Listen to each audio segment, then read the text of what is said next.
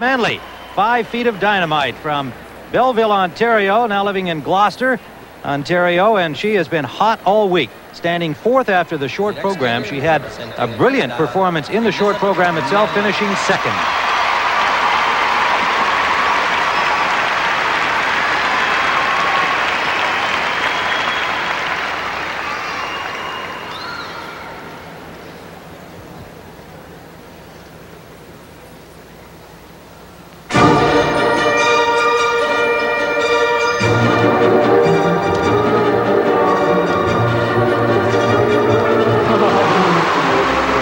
Has really been popular all week. She mixes the beauty of Janet Lynn with the power of a small locomotive.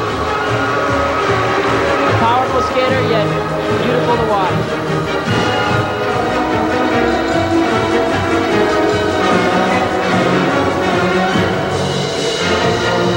Oh, a triple Lutz, and she sits down.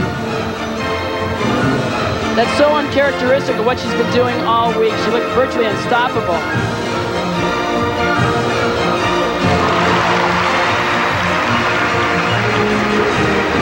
Like that by Manley certainly will help the cause of Caryn Kadavy for the gold. Debbie Thomas and Katarina Witt will be the final two skaters.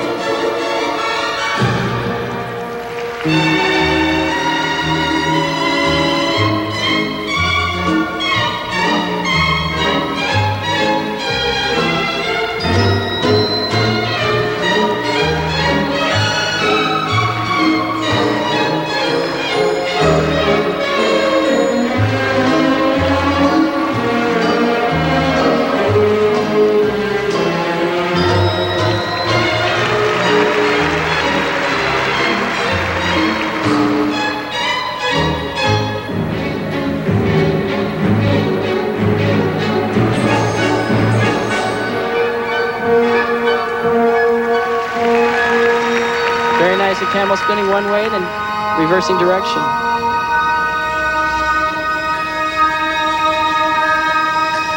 Elizabeth is coached by Peter and Sonya Dunfield in Gloucester, Ontario, and they put stars in her hair and star earrings on her and told her to think about jumping to the stars. Well, she's been doing just that all this week, standing fourth into this final free skating program. Very important jump, a triple loop jump, and she doubled it.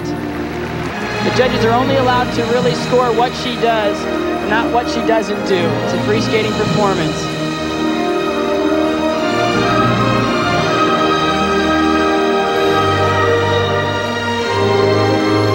Well, with two mistakes, the fall on the triple Lutz and the doubling out of the triple loop jump, it almost puts Caryn in a sure medal position.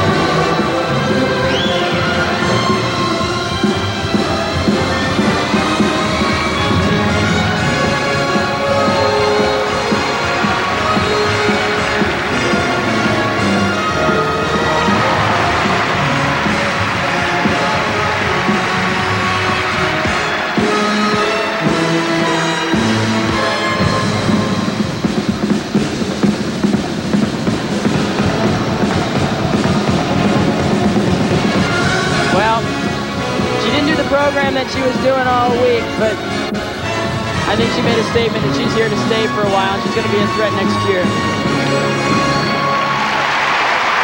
21-year-old Elizabeth Manley from Canada. And Debbie Thomas will be next. What's going through her mind right now?